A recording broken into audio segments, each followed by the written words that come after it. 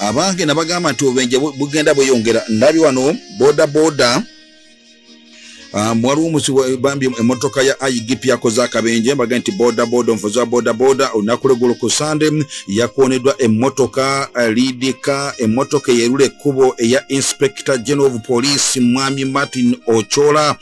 Emmotoka ye mu budistrict gye bayita bugiri district gyakoledde accident.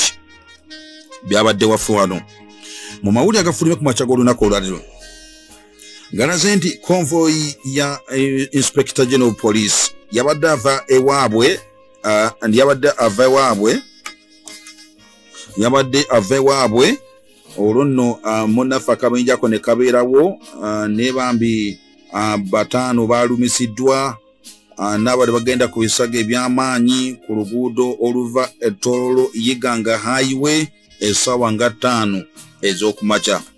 Omwogezi wa, wa poliisi omwogezi wa trafiki bamuyita asp farida nampima yagambye nti akabenje kano kabaddemu emmotoka mwabaddemu nemmotoka landi toyota land cruiser. Ng'eriko ena- toyota land cruiser eno ya poliisi eriko up 85 eyo land cruiser. Eyabadde ekulembedde mu maaso nga lidika muziwerekera ku inspector general police.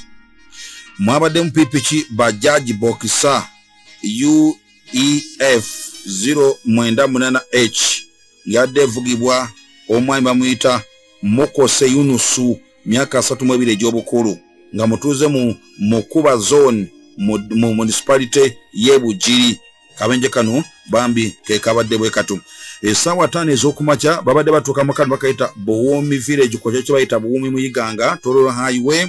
Abambi uh, bagambye nti emmotoka zabadde zitambula kasoba wabadde ondeza engeri yakajamujamu mpolampola uh, yadadda kampala ogenda okakana ngaowa bodaboda bambi.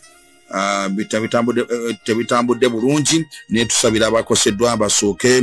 Yafudde naye tumusabira mungu akkirize kakati ndowooza ndowooza ofiisi ya, igp ndowooza songa zonna zikwataganyiza bulungi bulungi mpola mpola munange.